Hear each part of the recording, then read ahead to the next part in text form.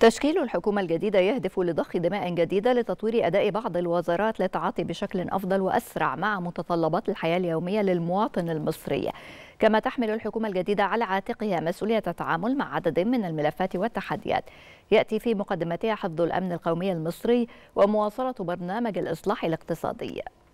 رغبة من القيادة السياسية في الاستمرار في مسار الإصلاح الاقتصادي والبناء على ما تحقق من إنجازات مهمة في مختلف قطاعات الدولة، كلف الرئيس عبد الفتاح السيسي رئيس مجلس الوزراء مصطفى مدبولي بتشكيل حكومة جديدة. الحكومة التي سيتم تشكيلها من مجموعة من ذوي الكفاءات والخبرات والقدرات المتميزة، تحمل على عاتقها مسؤولية تحقيق التوازن بين سرعة الإنجاز والمرونة في التعامل مع الملفات، مع وضع مبدأ الشفافية والوضوح مع المواطنين ركيزة لعملها، حيث شهدت الفترة الماضية الحاجة إلى تعزيز التواصل بين الحكومة والمواطنين بشكل يعكس طموحات الشعب والعمل على تحقيقها. وبيد أن الحكومة الحالية نجحت في التعامل مع العديد من الملفات وتجاوز العديد من الأزمات. من شأن الحكومة الجديدة تطوير أداء بعض الوزارات وتقديم رؤى وأساليب مختلفة في التعامل مع الملفات والقضايا المهمة لتحقيق أعلى نسب الرضا الشعبي. كما أن الحكومة الجديدة تأتي في مرحلة مهمة من عمر البلاد التي تواجه مخاطر تحدق بأمنها القومي ووضعها الاقتصادي. بما يتطلب تكاتف كافة أطياف المجتمع مع الحكومة ودعمها لمواجهة وتجاوز كافة الأزمات والتحديات. وهكذا